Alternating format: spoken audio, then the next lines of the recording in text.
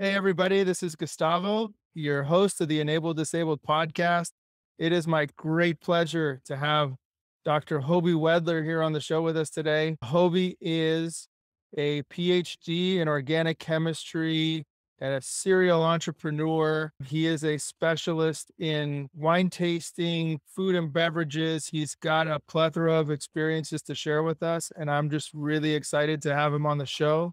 A brief description of me I am a middle aged Latin American male. I have short brown hair combed to the front, and I am sitting in my conference room with some beige walls, and I have a black polo shirt on. Well, Gustavo, it's a real honor to be here. First of all, thank you very much for for the introdu- the kind introduction. I'm uh, absolutely thrilled to meet you and your listeners, and and really become a part of the enabled disabled community. I commend the podcast. I commend the work that you do, and I think it's I think it's really cool. I think it's really special to celebrate people who are doing different things in the world uh, with with different abilities. I don't like to call them dis- disabilities necessarily, but ways of viewing things a little bit differently. Just a quick description of myself: I'm 34 years old. I'm a Caucasian male with the brownish hair, and I'm sitting in a uh, ring, which is my office, uh, converted bedroom with a white wall behind me and I'm wearing a North Face jacket at the moment. Awesome. Thank you so much, Hoby. This is uh, this is really exciting. I know we met at the Livable conference in Canada. You did an awesome presentation.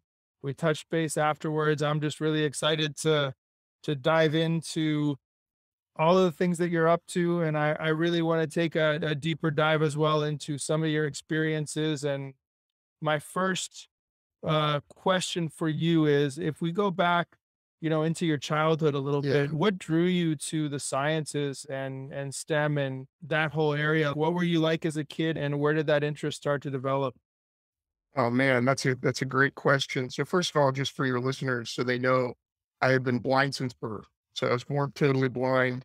And one of the I attribute a lot of my ability to to do things in this world and do things. I try to do things well as much as I can. And I attribute a lot of that to uh, to my parents being so open minded and positive about the fact that I wasn't any different. I, my blindness did not make me any different than an ordinary person who happened to be blind. So whenever they would introduce me, I was never Hoby Wedler, their blind son. I was Hoby Wedler, their son, just like my brother who's sighted and two years older. And I just so happened to be blind. And that's the way that I was raised. And I think that it's so often low expectations of of society, of family, of friends, whatever the case may be, of people with disabilities lead to those people not really necessarily believing in themselves as much as they can. And the way that my parents just never lowered the bar and had super high expectations of both me and my sighted brother uh, made it possible for us to really believe in ourselves and get out there and do things. My parents were nervous about my blindness, I'd say, for about 12 hours until my mom decided to call her best friend from college, Barb. And when she picked up the phone and called, Barb's husband answered and said, you know, hello, what's, uh oh, what's going on? And then all Barb could hear on the other end, this is 1987, so they weren't using speakerphones, but all Barb could hear was her husband saying, oh no, oh, this is absolutely terrible. What are we going to do about this? Oh my gosh. And then Barb, being the person she is, grabbed the phone right from her husband and said, What? What happened? And my my parents told her that I was born blind. And she said, Oh God, blind we can deal with. I thought he was dead. So if I ever write a book, I'm gonna call it a I'd rather be blind than dead. I'm just kidding there. But no, it was it, the reason that Barb had that reaction is that her father's best friend, they were both professors at a research one institution at university. And and her best friend was totally blind, had been since birth. His best friend, sorry, was totally blind and has had been since birth. So she was surrounded with blind people doing things all the time. This guy was a better handyman than anyone in their house. Whenever anything broke or they needed anything done, they just called John, who was her dad's friend, and he would fix dishwashers, he would change oil on cars, he did everything. So in her mind, blindness was just a trait, and that's it. And I think it's interesting because I think oftentimes when you're around that as a child, it makes it that much easier to cope with because you're young, you're learning about the world. It's almost like learning a lot of different languages when you're young is pretty easy. We learn to speak the languages that we speak our first languages we learned when we were quite young. And then a lot of times we build on that later, but it's a lot harder to build on that network. So because of that, my parents said, okay, we trust her. We trust my mom trusted her friend and my dad did too. And if someone else can do it, our son can do it too. And remember, they had never really been around blind people. They had a, a couple of blind friends, uh, loose friends that they knew over the years, but blindness never. How, imagine your life changing, not thinking you'll ever need to deal with blindness and, and raising a blind child to, okay, our son is born and whoa, he's blind. Uh, this is going to be a life changer. So I, I can't imagine that. Anyway, they had high expectations of my brother and myself. And the other, they did many things absolutely wonderfully. But the other one that I'll call out here is that they always encouraged us to take responsibility for our lives and our actions. I remember countless times, either one of them in different circumstances saying, Hey, this is your life to live. And you need to take responsibility for your life and for what you do so that if you succeed, you get the credit. And frankly, if you don't succeed, you can take the blame for it. How would it feel if you had to give everybody else credit for successes that should have been your own and to let other people take the blame for mistakes that should have been yours? And that was really a wonderful lesson for me. And, and again, the expectations were high. We had maybe different chores, but my brother and I were expected to work very hard. And and that was the other thing that, that our parents did is they never hired anyone to do any work. It was really, we did everything ourselves. So oftentimes, and you know, my, my father in particular is really, he's just a, he's a plumber, he's an electrician, he's a carpenter. He does it all quite well and wanted to teach us essentially as we grew up. And that was the main, you know, force behind their decision not to hire a bunch of work out. So it was not uncommon for us to get home from school, do three or four hours of homework, and then go outside and work on the house until dark. And and that was a great lesson for me as a blind guy, and I think for anyone really. But when you have a disability, as as you might agree, things take a lot longer. So it's just a fact of the matter, and it's not a problem, not a bad thing by any stretch of the means, but things just take longer. It's the way it is. One thing led to another. And I remember my first fascination with science was when I was standing in our kitchen in April of 1990. I was still three years old. I was about to turn uh, four. I guess it was April of 91. And I turned the tap on of the kitchen faucet to get a glass of water. This is something that I've done hundreds, dozens, if not hundreds of times before. But it was that time that I realized and I started thinking, wait a minute, how is this isn't magic? How is water getting from the wherever it's coming from into my house? And that led to a lot of conversations with my parents. It led to me calling the water resources department and actually my family scheduling a field trip down there to learn what they did and how they did it and why they did it. And that led me to really understand wow, there's this network pipes all over a city. And even, I know it sounds funny, Gustavo, but even to this day, when I think about a municipal water and sewer system, I'm amazed. It's an incredible thing to really think through and, and understand I remember another time I used to vacuum my room and the rest of the house. My parents taught me to do that at a very young age. I remember switching on the vacuum cleaner and hearing it roar to life and thinking, wait a minute, what's running this thing? Okay, my dad says that electricity comes into the wires, comes into the house through the wiring, and it's it comes in the form of electrons, but then the electrons all go back out and into the ground. So what are we actually what's driving this vacuum cleaner if the electrons aren't really going anywhere except for through the motors that we run or the lights that we switch on or whatever and i realized that what we're not or by talking to my dad and really figuring this out i realized that we're not paying for the electrons themselves like we pay for water molecules we're paying for the force the electromotive force behind those electrons or voltage behind those electrons and that was really exciting to think about wow when we pay for energy, we're really buying a, a, push, a force, rather than an actual thing in some cases. And that was interesting. And that really got me thinking about science. And then the rest is history. I'll talk to you about chemistry in a minute. But yeah, that's how it all happened. That's really interesting. Clearly, you were an exceptionally bright young man and you have a natural curiosity about how things work, which is always great to see. I also think it's really important that your parents were able to so quickly obviously through through friendships, through connections, but they were able to accept your difference quickly. It went from we don't So know what quickly. to yeah, we don't know what to do to okay, this is fine. We're gonna figure it out. A lot of parents struggle with that acceptance phase of figure of just being able to deal with there's a difference here. What am I gonna do? So it's Well really great to hear that you have that not only that ability, but the friendships around them that were able to help. there's another element, couple of points that I just want to respond with, if I may. On that note, I think a lot of people, yes, definitely struggle with that difference phase and that acceptance of a difference phase. To be completely honest with you, think that some never really get past it. And I think that's a, a real struggle for either young people who are born with a disability or people who become disabled later in life. And that's one of the things that we see a lot. I'm a chairman of the board of the Earle Baum Center, which is a center that really, by and large, helps seniors with sight loss learn to live normal and productive lives. And what's so interesting is one of the biggest issues that we see these blind people come to us or visually impaired people come to us and they're annoyed by their visual impairments, some way more than others, they want to get out in the world generally and do stuff. And I think a lot of times the family members, the the spouses, the kids, whoever it may be, are the ones saying, no, this is what you can and can't do.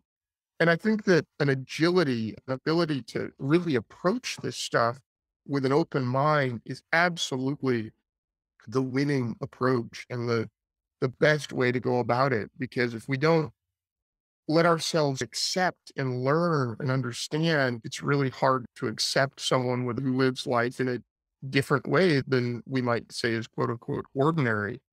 And the other thing about that that I would say too is that I think that so often people with disabilities, people who are blind, I'll just use us as an example, talk about, oh, these people are discriminated against me. They're treating me poorly. This is just so bad. They're just thoughtless people. And I think in many ways, it's not a matter of being thoughtless. It's a matter of not knowing. So it's not a matter of being rude. It's just a matter of not understanding what's best and what's right. And to me, that's really important. And that's a really important distinction that people aren't out to get us or discriminate against us necessarily. I think they just don't know how we go about doing things. And that's a really important and I think really interesting to think about as we go through our our lives is when we talk about discrimination and that sort of thing, is that really discrimination? Or is it just people not knowing or having low expectations of what we can do? And just to bring it full circle, I think that's what my parents did so early on in my life is they learned what that what it meant to be blind and they learned how blind people did things. And that was immensely helpful. I should also say that my mom uh, was actually working on her special education degree when I was born and said, well, shoot, special education, my son's blind. I might as well specialize in blindness. So she was actually a teacher that visually impaired for the past 30 years or so. And uh, having someone who knew a lot of what she knew, but literally in house, I think paid off immensely. Because if you're going to be a teacher of students with visual impairments, you should understand how they do things and have those high expectations. And certainly that was a, a big gift that was thrown in your direction, but also kudos to your mom for doing that because you made it. I don't know when she was doing that degree, did she have a specific interest in special education that she out? She was going to be general special ed. And then this happened. This, you know, changed her life a little bit. And she said, well, let me specify this and, and study blindness. So it's very cool. I'm curious, just from your perspective, were you, did you have a disability as a child? Yes, I was born with my disabilities. Okay. And it seems like you are very, have very high expectations of yourself. So I'd imagine you had a similar childhood experience. Yes, I think it might it may have taken a little bit longer for my parents mm-hmm. to get to that acceptance stage, but it helped enormously that my father is a doctor and so he he was able to navigate the field of how I was going to get treated, where we were going to go. I was born in Perfect. Brazil, so we moved to the United States too. And then my mom just was full on board learning everything she could from the occupational therapists Wow. from the physical therapists She was really the driving force in you can do it. You're going to walk. You're going to do these things. You're going to go to school, etc. You're go- she really implemented. She showed me what having fire in the belly really means and Mm, motivated. But yes, I think we had a lot of simul- similarities and a lot of a lot of fortuitous circumstances too, which helped. And I think that the, the bottom line here is that positive people in our lives really made the difference from between success and expectations and a lack of success. And I think those are all really important nuances.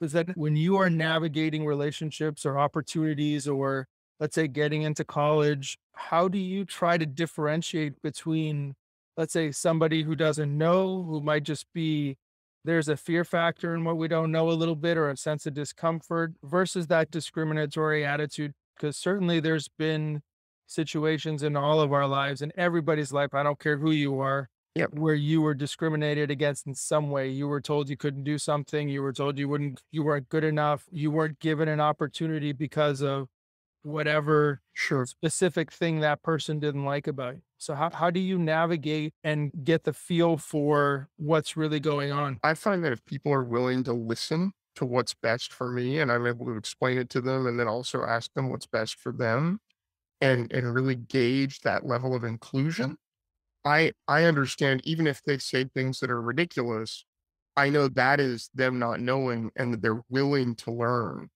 There are certain people you might talk to, and, and I think you can think of a few of them, maybe from our uh, recent past current events in the United States, where it's, I feel like if you were to say to them, hey, th- listen, this is how I do things, and I'm still just as productive, they just wouldn't listen to you. And I think that's true discrimination.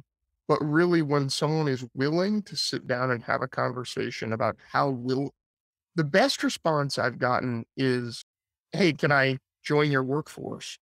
I don't know. Tell me what you can do. That's a great response. No, you can't because you're blind is a very discriminatory response. So it's gauging on their ability and desire to learn. And by the way, I'm a lifelong learner too. So I love learning from other people. And there's a lot that we can teach with as people with disabilities. There's a lot that we can teach the non-disabled population about how to work with us and how to interact with us. And I'd say most people are more than willing to learn. I think that's true. As long as you can, as long as you can get in the room with them or get face to face with them and they're willing to take that first step, then there's an opportunity there. And what seems like, you're right, what seems like discrimination on the surface is not necessarily that. It's just not, I agree. It's not knowing, or it's a little bit of fear or discomfort or this that people just need to, most people are willing to get over that. And if they're unwilling to get over that and they know they're doing it, that's discrimination. Interesting. So I think. Yeah, no, I agree. I agree with you. I agree with you. I think sometimes you also hear people from the disability community say we shouldn't have to do that extra work. We shouldn't have to bridge that extra gap. It's more responsibility on our shoulder to do that. We should have the same kind of opportunities and the same chances as everybody else. hmm How, how do you respond to that? That's an interesting one. And I have a bit of a strong opinion. And my opinion might be counter to others, but I just feel like, hey, when, you know, when students around me who had disabilities would ask for extra time on assignments, I would always think, hey, unfortunately, I'm really sorry to say this, but unfortunately, can't ask for extra time in life. That'd be really nice. So we're all here have one life to live. I think we should, my feelings are complex. I think we should, we should try to, accessibility and full inclusion is absolutely necessary. Like a website should be accessible to both you and me. Entering and exiting buildings should be accessible to both you and me. All these general things should be totally accessible. When people tell me they shouldn't have to work harder than sighted people to get a really good job or non-disabled people to get a really good job, I have a hard time with that because we live in a capitalist society. And if I'm going to get a job and I'm going to compete with a sighted workforce, I frankly need to be better and different than the sighted people who are working with to get jobs. I have to show, like, I, my other thing is, I do not resent hard work. I do not resent other people. If you have eyesight and you can use it, my gosh, by all means, use it. I get that. Use it. I don't hold a grudge just because you have something that I don't. And I would hope that the world wouldn't hold a grudge for having something, for me having some against me, for me having something that they don't. And I like to think about it. I might not be able to see, but there are other things that I, I'm not one of these guys that thinks, oh, my other senses are like powerful, sharpened like Daredevil because I don't have my eyesight. I don't necessarily think that. I just think I use my senses differently, my other senses differently. So I have ways of approaching the world that are different than other people and maybe a little more acute in other areas. And boy, if any disadvantage we are are faced with, most disadvantages we're faced with, let me rephrase that. I do not mean any. Most disadvantages we're faced with, I think can be turned into advantage with the right attitude. And the the attitude of holding a grudge and saying we shouldn't have to work this hard and we shouldn't have to do things too differently. I think that's a negative. I really, uh, when I hear that, and I've heard it a lot in our community, I think of that as a negative mindset. The more positive mindset is let's do this life and let's be the best disabled people we can possibly be. Because what more is there to life? It did is interesting. I also I think that there's definitely some I've had some people on this show where they're in academics right now and they're really accomplished people. The way their brains function, like they needed more time on tests. And I think Totally. I think that can be okay. I do too. Uh, but there's also something to that negative mind state that I agree with. I, I would just hope that as a society, even a capitalistic one, Yep. that we can break down those barriers a little bit more and more over time so that at some point in time, whether it's 100 years from now, 50 years from now, whenever it is, people don't assume that because you have a disability, you are less than or you're going to have to work hard. But Or that that's where hey, I think that's where I think we need to shift the narrative. But I I do agree with what you said. And let me be very upfront. I do not think people with disabilities are lesser or should have to work harder necessarily. I, and the lesser one is the one that really caught me. I we are equal. We are absolutely equal, but we might have to work harder. That's just part of life. But we're not. I do not think we are lesser and should occupy. Like I said before, I think we need to work hard enough to be better than our competition. I agree. And and everybody does. That's the point. That's Mhm. part of the that's part of the point of living in a capitalistic society is you have to prove you have to prove your value. Absolutely. Yeah. So No, I'm glad. This is really an engaging and an insightful discussion here just to think about this stuff and to ponder how all this.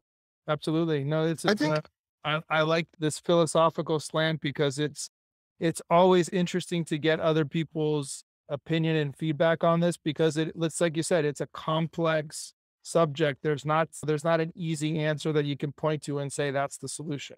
especially the society that we live in today, likes to hold scapegoats and likes to think, oh, they're so much better for than me because, and then fill in the blank. Oh, if only this was not the way it is now, I'd have a million dollars. Oh, if only, if only. But it's wait a minute. When do you step up and say, what do I have? How can I thrive? Absolutely. And to me, I think a lot of people, and this is no, this has nothing to do with the disabled community. I just think a lot of people waste their lives away worrying about what other people are doing and why they can't do that versus what can we do? Absolutely. And you, when you start, when you were like, if we can shift this back, I, want to try to get highlight some of the practical ways that you applied that.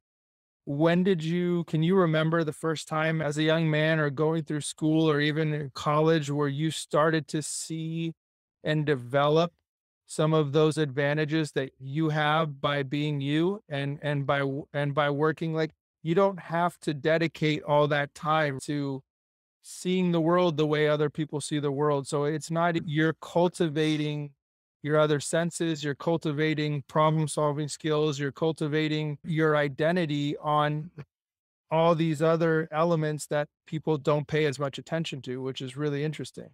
Yeah, sure. Thank you. I don't necessarily know when these things started to come around. And I'm not saying that I'm like hugely gifted in any area, but I and I, I would be absolutely remiss if I said that I, I didn't have to work just as hard as my peers to understand chemistry. Took it's a visual science. I spent a lot of time working with my reader and my assistant and working with my lab assistants to make sure that the chemistry that I was studying was accessible to me and that I understood it quite fluently. I'll give you two examples. In in the world of chemistry, it was interesting. It was in high school, actually, my freshman physical science class. when I realized that I just have a knack for chemistry. Whenever we did chemistry or talked about chemistry, when we had the whole chemistry unit to study a, small part of this relatively small part of physical science, it just clicked. It made sense. And when it came time for honors chemistry, my junior year, I took the test and and the instructor to figure out how to get me, how to get me into the class because it was, she was all worried about having a blind student in there. And she's like, can't deny him this. He, you know, got the highest score on the entrance exam. So how are we going to do this? And we worked together to find a great assistant to, who had taken the class the year before, who would work with me in the lab and write down my answers on tests and problem sets and whatnot in print.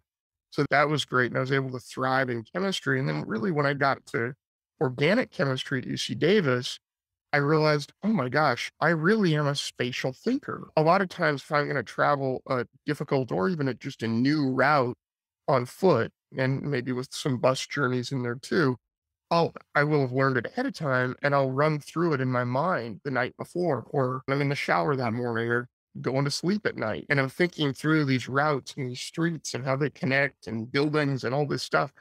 And I realized one day, I said, "Hey, wait a minute! I'm using the same skill set."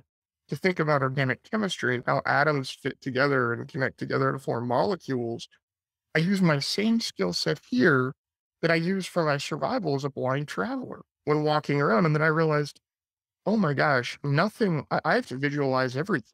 I can't look at anything with my own eyes and know what it looks like. So whether it's desks of wine arranged in a classroom with people in them or a molecule of benzene, it's all in my mind so I realized early that I, or at that point, wow, if I can think about where buildings are in terms of meters and kilometers, and why don't I shrink those distances down to nanometers and angstroms and think about molecules and how atoms connect to form molecules?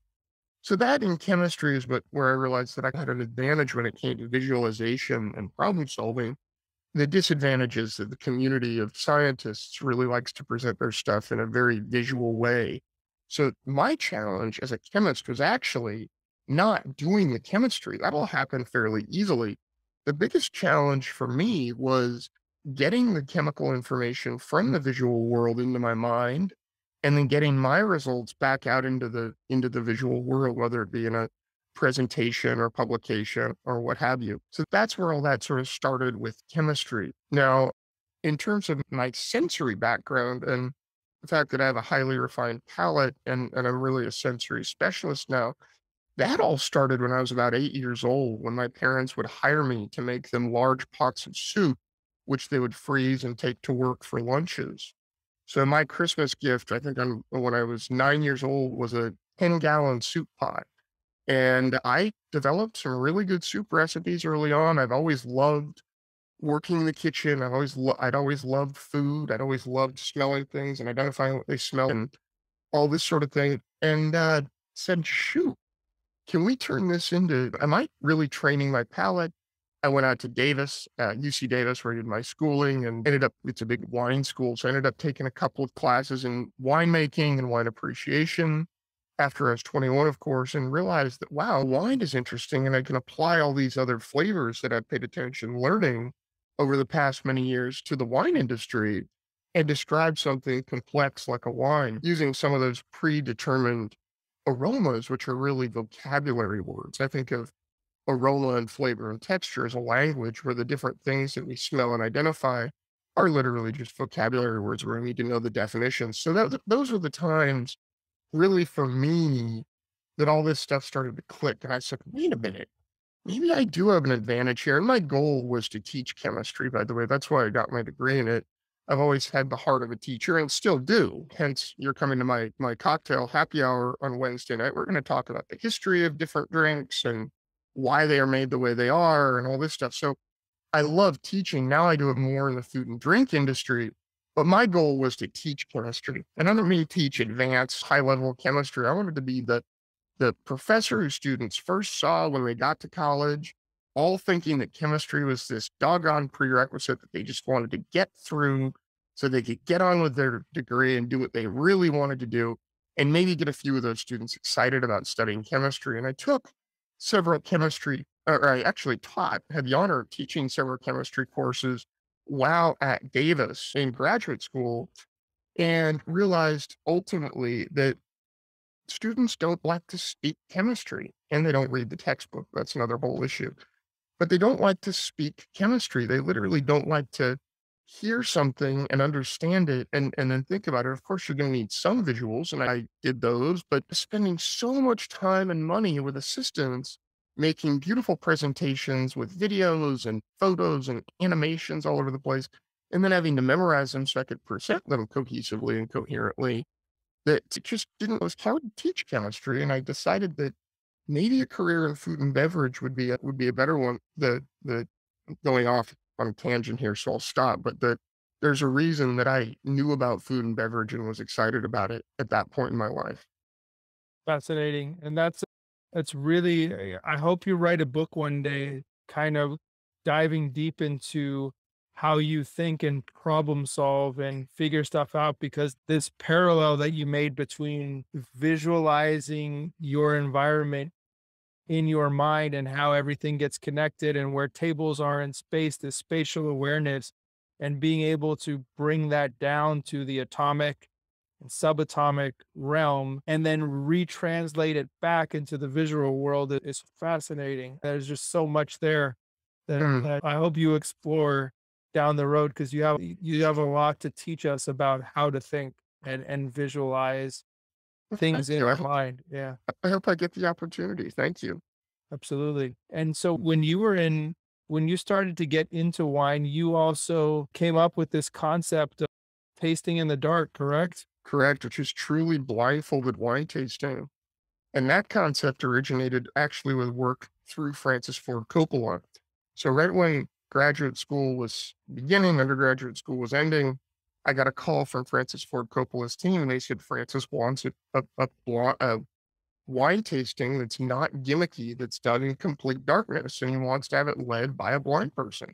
Is this something you'd be interested in? And I, when Francis Ford Coppola's team calls and says, Francis heard about you and wants you to do this, you say yes, and then you hang up and realize what you just agreed to, and maybe get a little worried about it. But to keep a long story short, Francis and I developed the experience together, and Francis really just gave me the reins and said, do it. So I developed this experience of tasting in the dark, starting as a hospitality experience uh, for the you know guests that would visit the winery, but it soon took off with a national sales team. And I was lucky as a computational chemist because my advisor it was very lenient and and being computational my laptop was literally my laboratory so i could work from the road and he wanted me to explore whatever options would be best for me after graduate school. So i was able to travel with them and do a lot of really exciting tasting work and yeah it led me to all sorts of other people not only in the wine industry but in terms of food and beverage and even product design and i learned that wow there's a whole world of sensory specialization out there that I can delve into, which is really exciting because I'm the only person that I do as a sensory, non-visual sensory specialist. But it's also hard because I'm the only one that does it, and people aren't necessarily looking for sensory specialists unless they know me or they know really exactly what they're looking for. But the whole point, just to circle back on the tasting in the dark, the whole point of the blindfold is to temporarily remove a sense that you use 80 to obtain 85 to 90% of the information you take in from your surroundings. When we temporarily remove that sense, what else can we do? What other parts of the world can we focus on? How is our life, how is our ability of understanding the world changed when we take away one key sense like that? Can we pay attention more closely when we're listening to conversation? Can we feel the chair we're sitting on better? What does the room smell like around us? How does the wine taste in your glass? And I would never say, okay, make it like a game. Like now you get to be me for an hour and you put on this blindfold. No one's going to know what it's like to be me. But it's a temporary view into a world that maybe people haven't necessarily gotten to explore.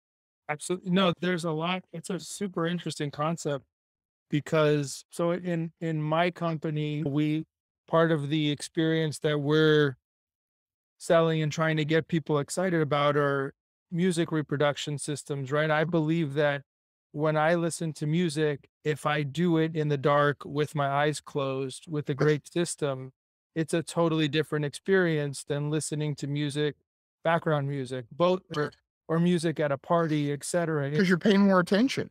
You're paying more attention. The performers, you get that sense that the performers are in the room with you. It's something, uh, you know, much more transformative and powerful.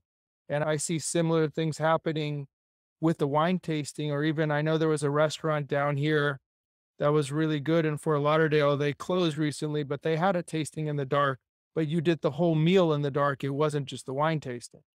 I've been to some of those that are amazing and some that are, let's just say, not so good that make the blindfold such a game. Yeah. But you're absolutely right. And it's, would you say that also helps, like when you're teaching and you're trying to refine your palate with something like wine, for example, th- there's a lot of, I imagine that there's a lot of marketing out there in the world where it's, you know, I, I say marketing in the bad context of marketing where you're just being sold a bill of goods, like this bottle of wine is coming from a, it's a French wine and it's X, you're paying a premium for it and it's not necessarily better than a $20 bottle of wine or a 30 do- $30 bottle of wine. So how do you, I would imagine that getting that palate refined helps you understand not necessarily what objectively the best wine is, but what you actually enjoy and what you actually take pleasure in that experience.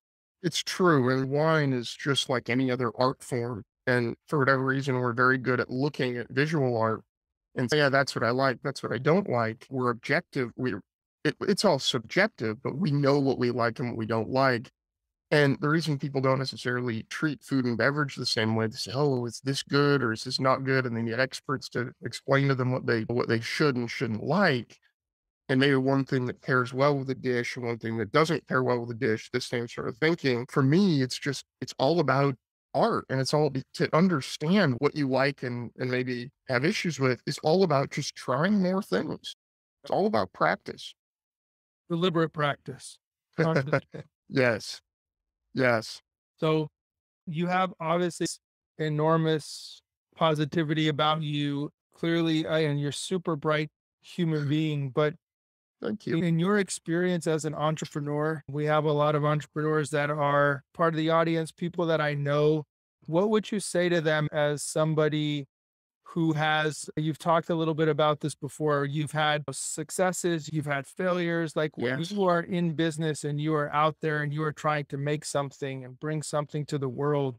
What's the attitude that you have when and learning experiences when something doesn't can't be afraid to fail. You can't be afraid to say, okay, this the entrepreneurs that I see that fail have this dream. This it's their passion, it's their product or their service they're so proud of that they just think in their head the rest of the world is gonna like.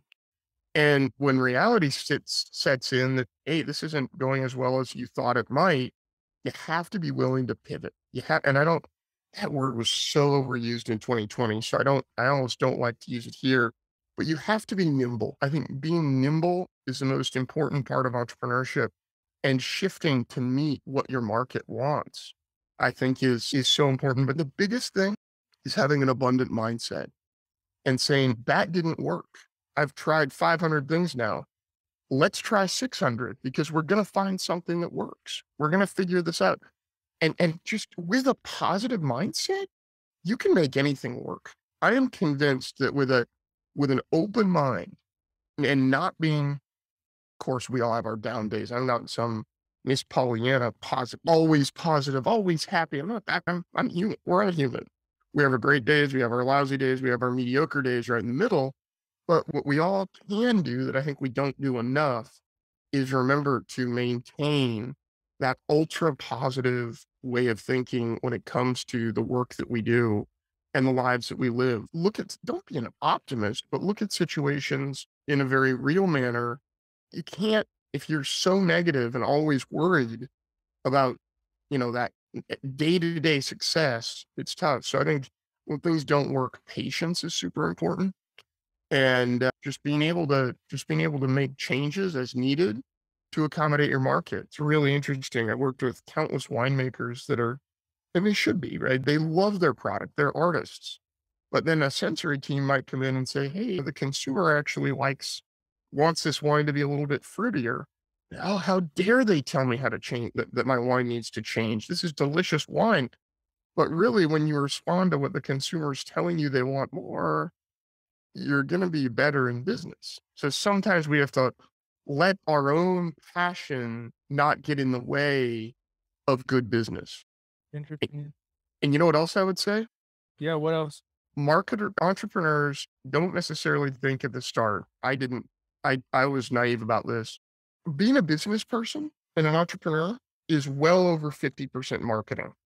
You can have the best product in the world, but if nobody knows about it, they're not going to buy it. So it's all about marketing. And that can be anything. That can be word of mouth, that can be digital, whatever you want to do, social, search engine optimization, paid advertising, whatever the case may be. But man, if there's anything that marketing is, uh, that entrepreneurship is, it's marketing. Mark, yeah, and how, so that, how do you think about marketing? What is marketing to you? Marketing is just telling a good story and being totally honest. So I'm resurrecting a brand that I built and didn't end up launching with because I got involved in other things, but I'm resurrecting a brand called Blind Truth. And I don't want to talk about the products that we're going to be producing yet because it's very new, and, and I, we'll, we'll, talk about that maybe when we meet the next uh, on the next podcast. But to me, Blind Truth is exactly what I stand for. It's this is a story of someone who happens to be blind who went out there and just said, "Let's do this. Let's make this happen."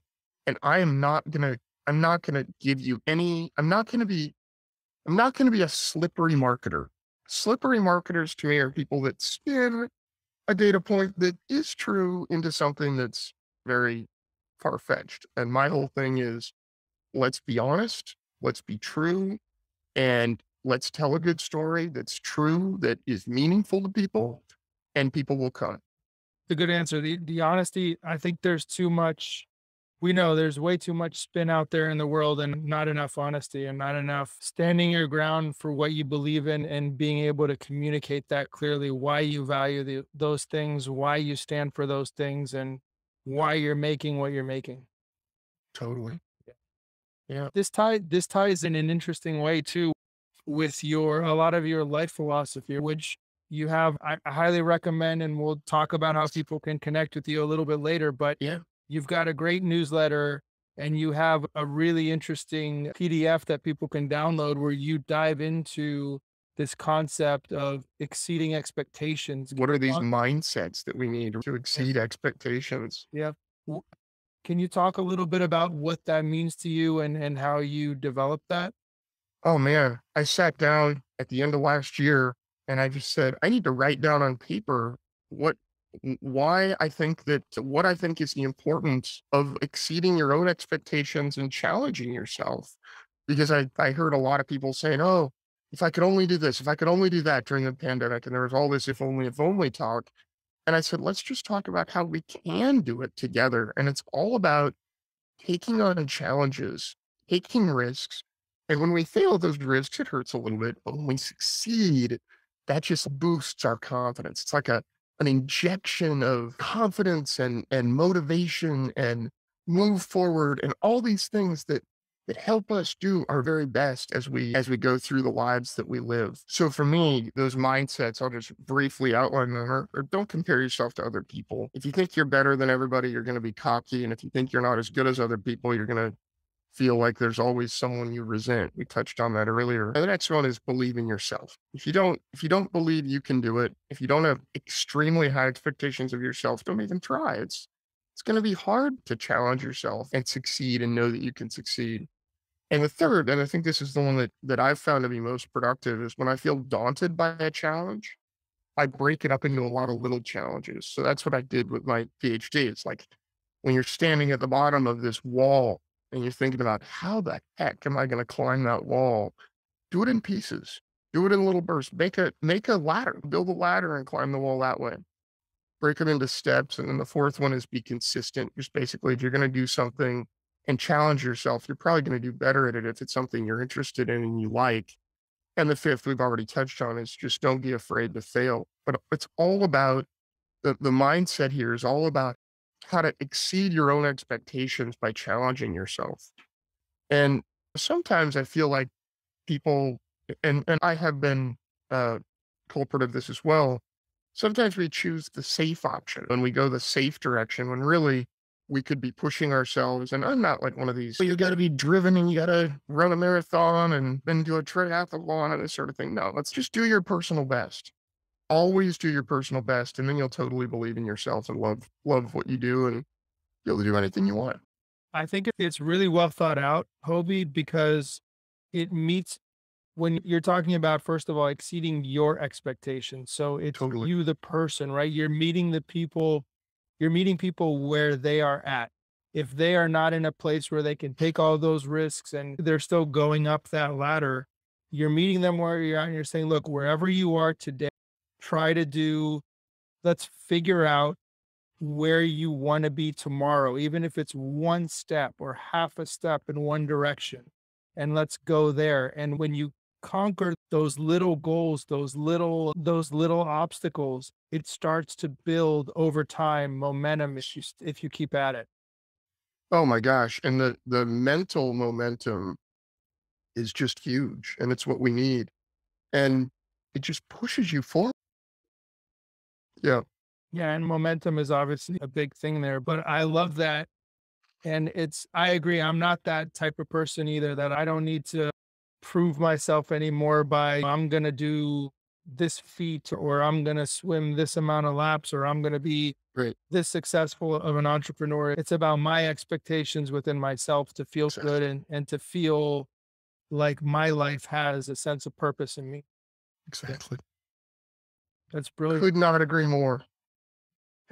And so when you I wanted to ask, I know it's it's a little bit I want to talk about Hoby Essentials, but I had a question that I wanted to ask you before that I didn't. When you were talking about the work that you're doing helping people who maybe they're middle aged or later in life who have uh, vision loss, Yeah. how do you get them to because you have an advantage of being born that way since birth. I have an advantage having my disabilities since birth. This is all we know.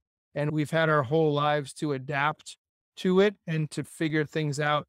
How do you help people who are making that transition for the first time? What's the difference in in the mindset that you have to break through? Oh my gosh. When you've had something one way your entire life and then it all of a sudden switches some sometimes faster than others, I think it's a really it's really challenging to break that mold and to get the right mindset of okay, I'm gonna get the training I need and I'm gonna do this and be the best blind person I can possibly be or the best whatever person I can possibly be. I, I ultimately think it's life mindset. I like to think that if you and I, because I think we're pretty similar in the way that we think and the sort of abundance mindset that we have, I like to think that if one of us were to lose another ability, like if I were to lose my hearing, would it be annoying? Oh, you bet it would be. But I think with the right mindset, you can just overcome it and deal with it. And and by the way, it's all about expectations. If you're 65 years old and you know are 70 years old and you start experiencing sight loss and your spouse thinks it's this lifelong detrimental problem and won't let you cross any streets to go to the grocery store, you're probably not going to believe in yourself either. So it's about, to me, it's a holistic approach whenever possible of not only working with that one person who's experiencing the issue, but working with everybody around them too. And and to be fair, this is just my philosophy. I'm just I'm just on their board. The the magic of the organization is with the instructors, the people who do this day in, day out.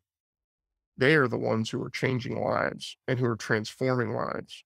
Okay, that's fair, but you're I'm sure you're bringing your as a as part being part of Oh the yeah. board, you're bringing your experience and your knowledge and your your insights into the equation too. So, I definitely do. And one of the things that I'll say that's just interesting to me is that sometimes I feel really disadvantaged in exactly what we're talking about because I don't know what they're going through. I don't know what it's like. And I can only imagine what it's like to lose the ability to drive, to have someone take your keys away from you. How um, vulnerable is that? And how it feels like freedom is being taken, but it doesn't have to feel that way. But I totally understand how it could and why it could. So I feel very lucky. You used the perfect word. We are advantaged because we have had our disabilities since birth. but it's also interesting that you are able to put yourself in their shoes, not, not perfectly, right? But you could, you have this ability to empathize and to try to get inside their headspace to understand what they're going through. And that to me, that to me is part of the key, a big part of the key for just this is human understanding, period, but a big part of the key for how we can help non-disabled people understand us a little bit better, just practicing that empathy. So important. It's yeah. so important to be able to exactly like you said, put yourself in someone else's shoes and say, hey, wait a minute. What would it be like if I was that person? And honestly, Gustavo, I think the main reason that people treat us so differently and fearfully is because they're worried about becoming us. And I know that sounds weird and might be controversial, but disabled, being being disabled is the one minority you can join any time in your life. And if we all live long enough and are lucky enough to live long enough, we probably will join this minority. But I think people are afraid. I agree.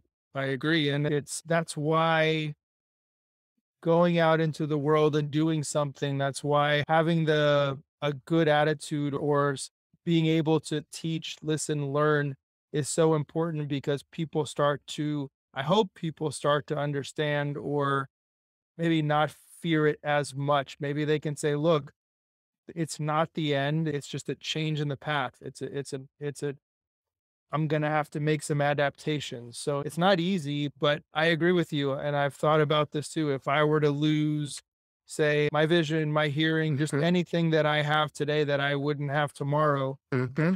I think there would be a little bit of a grieving process because I wouldn't be quite the same person that I was today. But once that period of time is over, I do trust in my ability to adapt and to problem solve and to figure it out. This is really important to me, Gustavo. One of the things that I think truly creates diversity is having struggled and had to problem solve all the time. We, as folks living with disabilities, always are solving problems and figuring out tinkering and figuring out adaptations and ways to make life doable for us. And I think that really is when we say we want a diverse team, we don't only want a team that looks different in a photo. We need a team of people who have different backgrounds, who can think differently. And I really do think that being disabled gives us, has given us so much sort of grit because we've had to struggle. Absolutely. Absolutely it has. Yeah. Yeah. And like you said, the, the ability to think in different ways, to see the world from different perspectives. It it's I think it's changing and it's getting better, but it's it's still astounding to me that more people, more business leaders, more companies, more industries haven't gotten around to that realization. You bet. It's not just hiring a diversity officer and checking the box. It's it's about really getting in there and solving problems.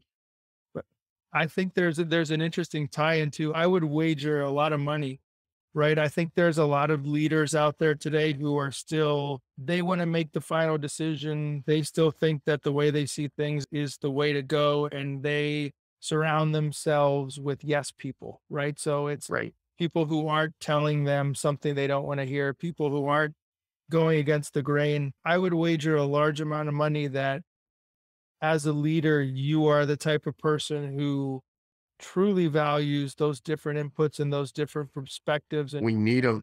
Takes them into account. Yeah. I had a disturbing conversation with a friend of mine who's a just a family practitioner, and she said something recently that was like really alarming and really disturbing. She said, if I tell my patients, if I'm the one that tells my patients they have to stop eating a certain way, or they need to stop smoking, or they need to exercise more, they're just going to go to a different doctor. And I'm going to have less patients and my ratings are going to go down. Okay. And she she still tells people exactly what she thinks. And other doctors are a lot more popular than her. So that's scary. That is scary. That is scary. Anyway, it just tied in and it was a thought right at the top of my mind. Yeah, that strikes a that strikes a chord. That's something that we we should change. oh, we should. Yeah. So, Hoby, can you tell us about Hoby Essentials? Tell us about what you're doing, started it, and, and what you're bringing to the market. Thank you for the opportunity. I'm super excited about Hoby's Essentials. We actually launched It's amazing how long these things take. We had the idea in September of last year, my, my partner and I, and we launched the company officially in late August of, of 2021 with two products. It's a seasoning blend company. So we have Happy Paprika, which is think like your delicious barbecue rub for grilling vegetables, delicious on chicken, delicious on pulled pork. I use it as a replacement for chili powder, all those things. And then rosemary salt, which is a really nice fine flake salt that is has a bunch of rosemary and sage and uh, little garlic and actually lemon juice powder. And it's just really nice and savory. I think roasted chicken, roasted potatoes, anything you might stick in the oven and roast. It was definitely all over the Thanksgiving table this year. Best roasted chicken or turkey, in my opinion, is butter, the bird, and rosemary salt. It's just, you need those three ingredients in a 450 degree oven for about an hour and 15 minutes, just creates the absolute delicious full roasted bird. And that's for a chicken. Of course, the time's going to go up if you're doing a turkey, and that's all temperature sensitive as well. But I just love the fact I developed these palettes or these products with my palate, with my knowledge of chemistry. I we've been using them in our kitchen for better part of five years now, and just said, "Hey, wait a minute, why aren't we making these things that we love available to the world?" And the biggest comment that people have been making is they want more products. So I'm in the process of developing about four more products right now, and we're going to hit the market in Q1 of 2022 with these two products. People like them, so they're not going anywhere. But another four additional products, which I think are going to be really good, and I'm really excited about. And by the way, you can find that at Hobys H O B Y S Essentials E S E N T I A L S dot com. Fantastic. Hope when you are when you're developing these these seasonings, are you I know, say for example, with barbecue, right? There's different. You can just travel to different parts of the United States and mm-hmm. find different kinds of rubs. Some people Yeah. are about the sauce, some people aren't. I know in Brazil, when you go to a steakhouse, it's mostly just salt. Brazilian barbecue. Oh my God. I do too. Do you take those those different cuisines across the world and study them, and, or is this about your palate and what you enjoy and the flavors that you want to bring to the experience? It's interesting. Thanks for that question. That's no one's asked me that before on a podcast. It's really insightful. It's I, I take into consideration what when people are are eating what they say they like, what is pleasurable, what is satisfying. And then we build that into our products. So people like a little bit of sweet, but I don't want it to be unhealthily sweet. So we're using just a little bit of coconut sugar. People like the taste of black pepper. So the happy paprika has a lot of black pepper in it. And then in the rosemary case, and there's I could go on with each ingredient. In the rosemary salt case, there's a cool flavor that that restaurant chefs get by using a lot of herbs in their cooking. And I thought, now how can we allow the home cook who doesn't want to spend a whole lot of time add that same amazing sort of restauranty herbal flavor to their cooking? And I think a really good way to do it is with rosemary salt. So it's about looking at what people find satisfying and, and pleasing and then trying to figure out how we can create that those flavors in in products that we Interesting. Okay. yeah That's an interesting perspective. I'm looking forward to trying it. Yep. How my next question for you is obviously we can talk for many hours and I would I am looking forward to doing that in future podcasts as am i online and offline, but have I missed something in this conversation that you feel is important to talk about? just the one parting phrase that i have for people is mindset is everything if you have a can do positive loving mindset you can do whatever the heck you want I like it. and, and if you want to put in the details of the show how people can get a hold of me at either hobywedler.com or hobysessentials.com that'd be great That's my next question. So how do people reach out? How do people contact with you besides? So let's start with Hoby Essentials. They go to Hoby Essentials, correct? Hoby's uh, with an S, yeah, hobysessentials.com. And uh, yep, there's a contact form, products available online. It's also I think it's around the holidays. It actually was a really good corporate gift. So if anyone wants to think about that for next year, that's a that's definitely an option. And there'll be more products as well. But my site is Hoby. uh, They can actually reach me at Hoby.com. That's H O B Y.com. And uh, or Hoby Wedler, my first and last name there's contact forms, or you can just, you know, get a hold of me on LinkedIn. That's just Hoby Wedler, H O B Y W E D L E R. or just send me an email, Hoby, H-O-B-Y, at hobywedler.com. And don't be a stranger. Get in touch. I like to talk to anyone. Beautiful. And yeah. besides, I know that you've got these companies going. You're obviously a really busy human being, which is awesome. Are, do you offer, you also offer some consulting services as well? If somebody wants some sensory design help, product development, product in food and beverage. I've done a lot of work on product design, designing textures of, of products and packaging design, anything that has to do with how things feel and making a more satisfying feel or sound of your product. That's, I do all that. And I do a lot of it. I love that work. And have you done that with any technologies with, say, for example, a phone or a computer or a tablet? Yeah. Yes. Yes, we have. We actually worked with, with a very large company out of Silicon Valley on on the way their glass texture feels for their next iteration of smartphones and trackpads.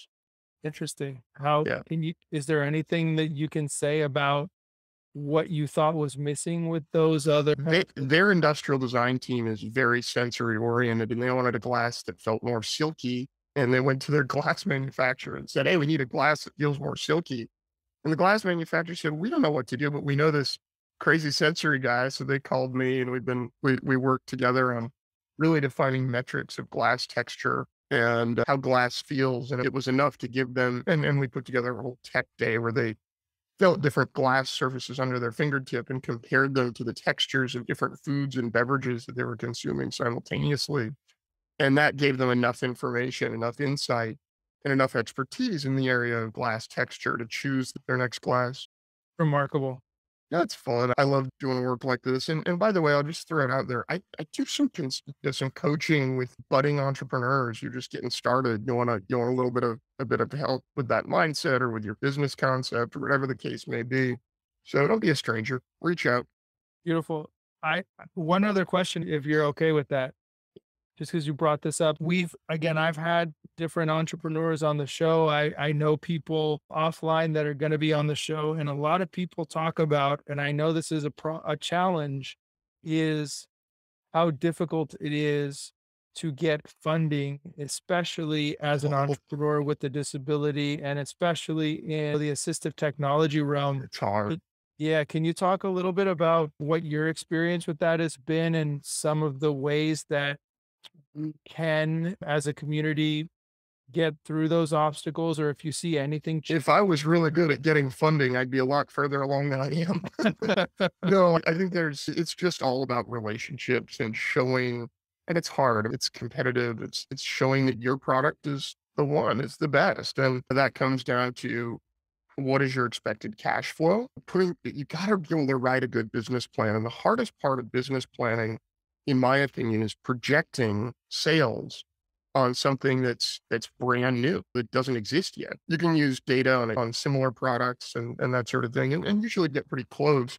But if you can show that the business will cash flow positive, and that's only one part of getting funding, I realized. The other part is passion and drive and showing your commitment to what you're doing. This is truly what you care about and what you will do so they know their money is is going to be put to good use and hopefully will generate a return. The other thing I'd say too, that's to me just a good rule of thumb is if you can secure funding in in manner in terms of debt, so you take out loans, that's going to be a lot your first option before you go to equity. Um, equity is giving up part of the baby. And debt is having to pay someone back over time. So I definitely prefer debt when possible. There are definitely times when debt isn't possible and you have to seek equity. But assistive technology is really hard and it's really hard to get funding for. I haven't personally tried it, but a lot of my friends, uh, I'm sure a lot of your friends as well, are in that industry. And the, the problem is that the market's so small. So like even, and, and I feel weird saying this, I, I would invest in assistive technology that I knew was going to make a difference in people's lives just because I'm a, I, I like to think I'm a good person. But as a business move, it's hard to say, and please, if you're listening to this, don't hold this against me, but I understand why it's hard to get funded because the, the market's very small. And that's, that shouldn't make it so that we don't get funding. But sometimes there's a lot of teaching that we have to do on why their investment, a lender or a funding source's investment will come back and be returned with a vengeance in the assistive tech space. So being very creative and and really putting on your your hat of the teacher and explaining to people why this matters. Why number one, they're they're going to get their money back because that's what they care about in this society. And number two, why your product is really helping people live better and more productive lives. I, I think there's a lot of again, I have not I've never pitched an idea to a venture capitalist, but Sure. my my understanding of as an entrepreneur, a small business owner is there's a lot of short-sighted thinking at play there where I think the venture capitalists so much of it is a crapshoot. So you'll hear a lot of successful venture capitalists say, look, we're investing in the person, not so Mhm. much the idea, because you never know. And So true. we feel that Hoby is going to be able, nimble enough to pivot Mhm. to what the market says. And maybe that technology can be used in other ways in other fields that we haven't thought about yet, just in case the initial idea doesn't succeed. So I think there's some short term thinking there where they don't, maybe they're less willing to believe in that person or because they don't see all of the other market applications. Or I think there's that tendency to look for the unicorn, right? I want to invest in the next Facebook, the next Google, the next whatever it is, rather than They'll invest in you though. yeah, maybe They'll invest in you. If you show your tenacity and your passion, exactly. you can But- win in any market. Maybe that assistive technology is going to generate 5 million in sales, 10 million in sales, 50 million in sales a year. That's still a sustainable, healthy, incredibly valuable business. Oh, totally. So it's an interesting topic, but Very interesting. I want to thank you so much for the time, for the generosity, for the open you. discussion. You are, I'm so happy we met and I just extremely grateful that you took the time to be here. I'm so grateful that we met, and this is the first of many. Absolutely. Thank you so much, Take care, my